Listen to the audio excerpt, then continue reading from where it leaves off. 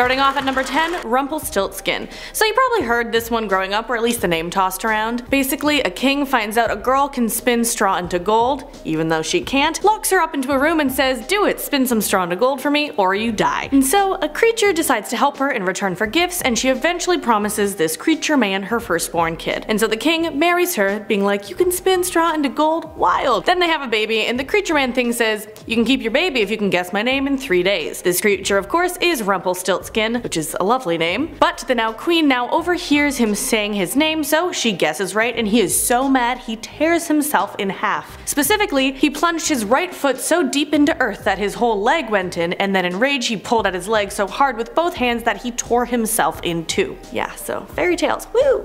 Ripped in half. On to number 9, Rapunzel. In this tale of Rapunzel and the Brothers Grimm version, Rapunzel is not the princess. She is actually the firstborn of a woman that had a craving for the lettuce type that is called Rapunzel. And this woman told her husband that if she didn't eat some of this, she would die, which is relatable. So her husband stole that lettuce called Rapunzel enough time that the enchantress that grew the lettuce said, oh boy, you shouldn't do that or I'll take your firstborn child. So he looked at the lettuce, looked at the enchantress and said, deal, and the couple gave the baby to the enchantress later on, because we just want some lettuce obviously. Anyways, fast forward through Rapunzel up in the tower, letting her hair down for Gothel, all that. One day a prince comes along and hears Rapunzel singing and he calls up to her to let her hair down and they start hanging out. Tinder could never. So even with all that, Gothel does find out, cuts off Rapunzel's hair, and then leaves her in the desert. Then she waits in the tower for the prince and says, boy, Rapunzel's gone, you'll never see her again. And then the prince is so beside himself in agony that he throws himself out the tower. He survived the 20 story fall, but he landed in bushes where thorns pierced into his eyes and he was blinded. He roamed around blind for years to come until he stumbled upon the familiar voice of Rapunzel. Her tears healed his eyes and they went back to his kingdom with their twins and they lived happily ever after. So in three words, this story is kidnapping, blindness, and lettuce.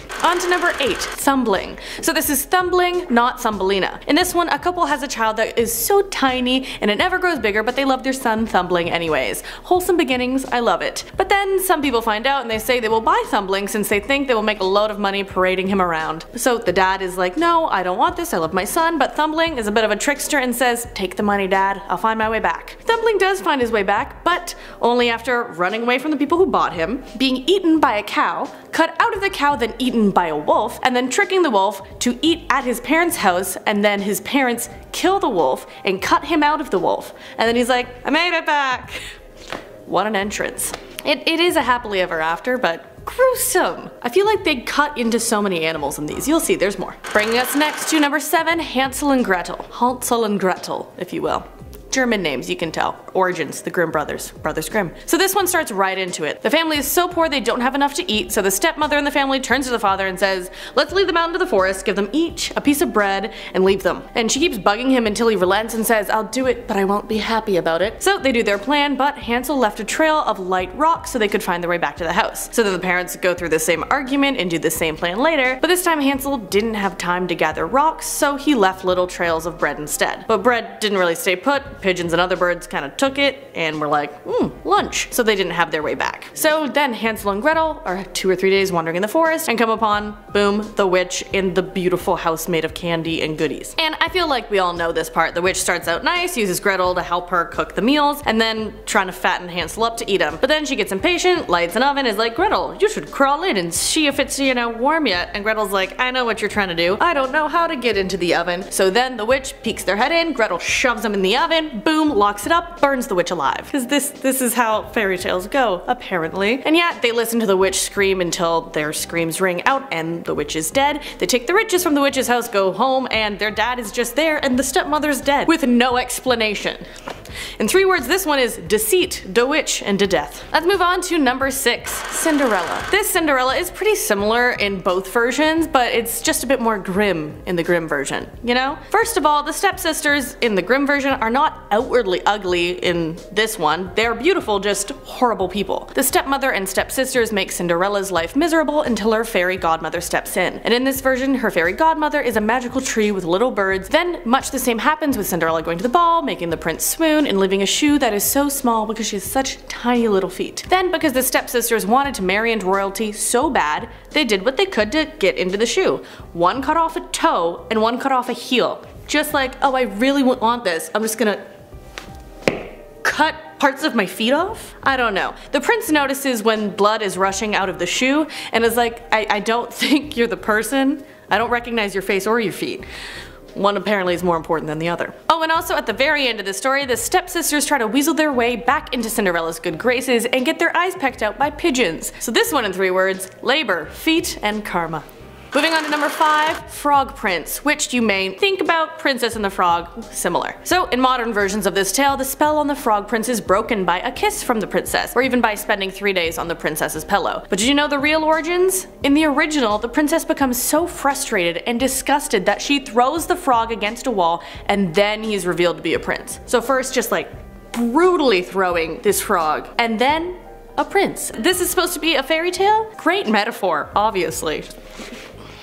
You don't eat a frog and then get a prince. That doesn't make sense. On to number 4, Little Snow White, aka Snow White and the Seven Dwarfs. So a queen had Snow White and died while she was born. Then the king took another wife who was really vain and that queen spoke into a mirror that told her that she was the fairest of them all. And so this happened until Snow White grew up and the mirror said Snow White was more beautiful so then the new queen hated her. And this is supposed to be her stepmom. Grimm brothers got a thing against stepmoms I feel. So anyways this queen told the huntsman to take Snow White into the forest and cut out her heart and bring it back. So he was going to and then he was like I can't cut out the heart of a wild boar instead and brought that to the queen. The queen, thinking it was Snow White's heart, got the cook to cook it for her and then ate it. Just like, yeah, what? No. Anyways, Snow White meets up with the dwarves, yada yada yada, becomes their housemaid for safety food and a place to stay. But then, Queen finds out, dresses up as a witch, tries to kill Snow White three times, one with a really tight corset, one with a poisoned comb, and then finally, poisoned apple. So yes, Snow White was as good as dead.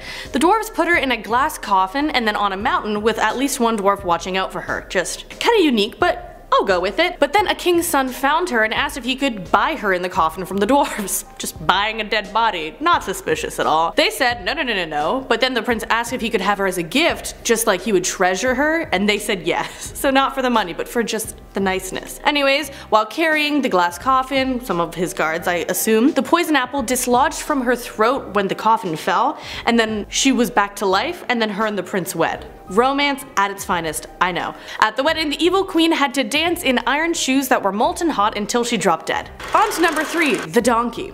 So you've heard of Donkey from Shrek, but have you heard of The Donkey? This one's a roller coaster, so strap in, I will stick to the main points. A king and queen had a kid, but it came out as a donkey. The queen was not having it, but the king decided they should raise this donkey as they would a child. So this noble donkey grows up well mannered and even mastered the lute. It's kinda wild, but I like it. And it gets wilder. So the donkey travels to another kingdom, befriends the king, marries the princess, and is found out by the servant that is spying on the donkey on behalf of the king that the entire time it's been a man in a donkey suit. Yep, entire time a man dressing up as a donkey. That means since birth, this man has been dressing up as a donkey, taking all the ridicule that comes with it, and making an ass out of himself. Literally. The king burns the donkey skin suit and says, live your truth man. So in the end, Donkey Man gets his wife's kingdom when her father dies, his own kingdom, and just has everything he wants and he's no longer in a donkey skin suit. Please tell me what you think the moral of this story is down below.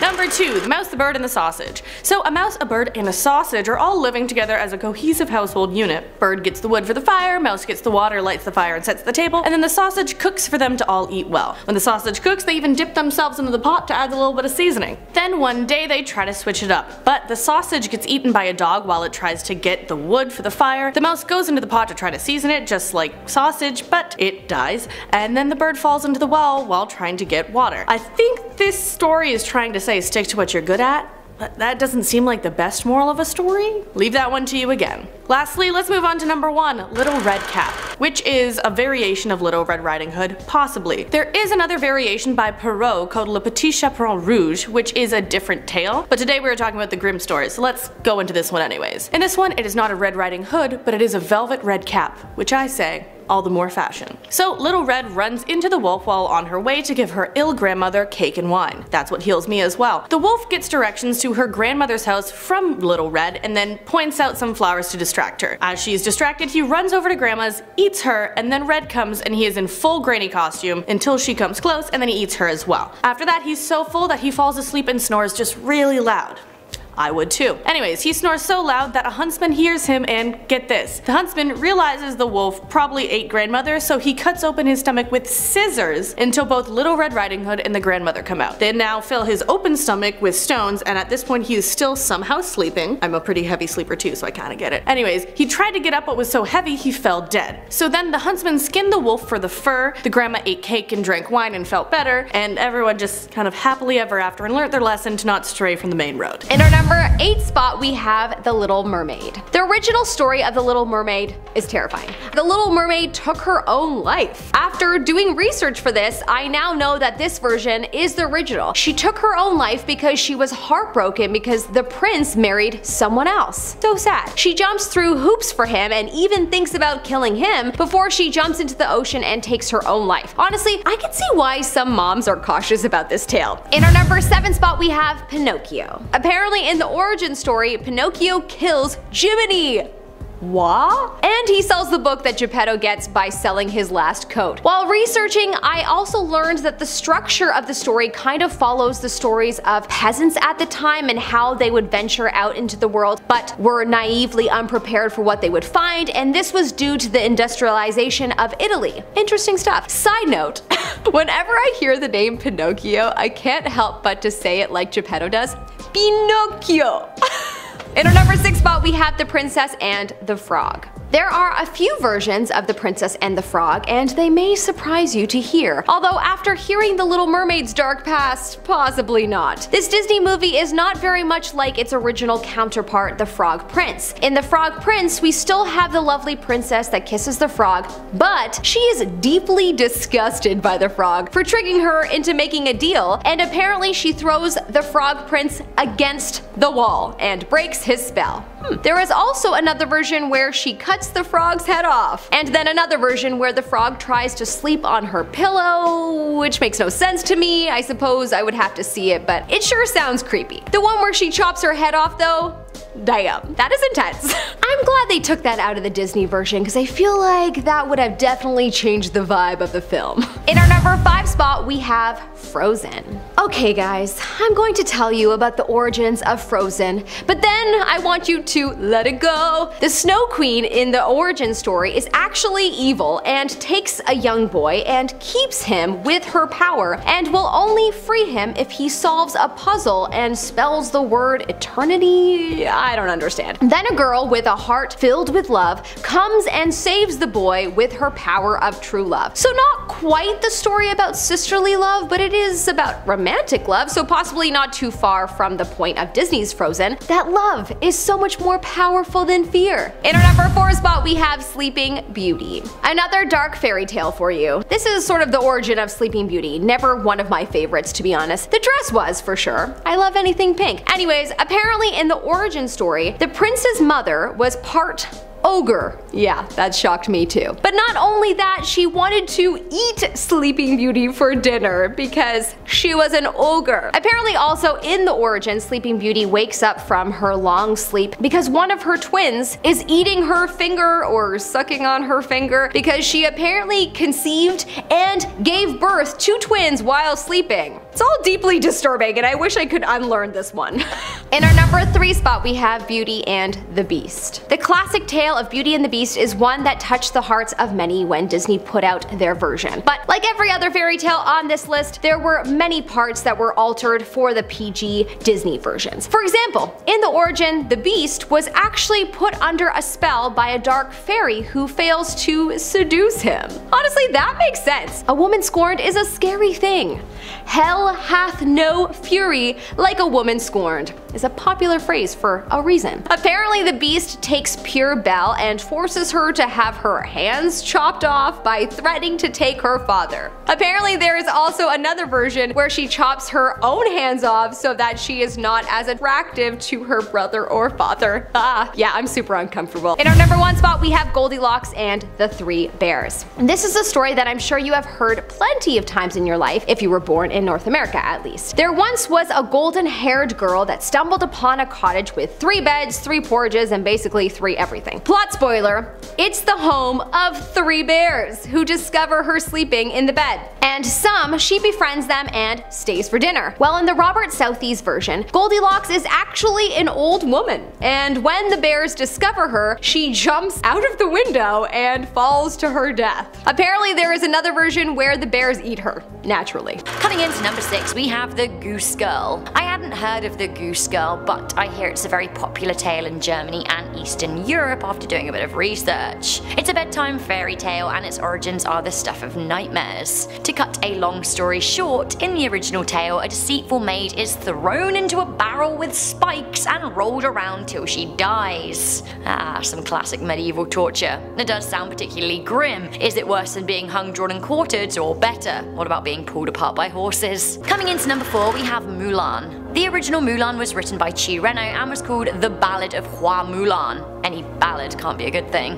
Hua Mulan was a legendary Chinese woman. In the ballad, like in the fairy tale, she disguises herself as a man in order to join the army, and she falls in love with Luo Cheng. When she comes back from war, she discovers that her father has died and her mum has remarried. Not only that, the man who waged the war in the first place has called for her to be his concubine, so basically his sex Instead of doing that, she commits suicide, but before she does, she gets her sister to dress as a man and send a letter to Lu Chang. Her sister does, but then ends up sleeping with him herself horrifying. Coming into number 2 we have The Pied Piper of Hamelin. So we know the story of the Pied Piper. It's a popular but admittedly dark fairy tale in which a town in Lower Saxony, Germany is infested with rats, as it probably would have been in the Middle Ages. Enter the Pied Piper, a man with a magical pipe who does a deal with the town mayor to lure all of the rats away. He does this successfully and the town is rid of the rodents. However, the mayor refuses to pay, so